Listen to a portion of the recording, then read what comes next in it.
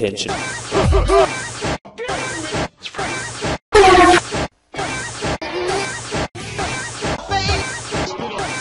This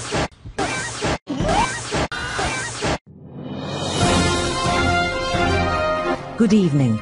You're watching GNN News at 6. This is news reporter Catherine. We hope you guys are ready for Thanksgiving. Spending time with your family while watching football and eating a lot of food.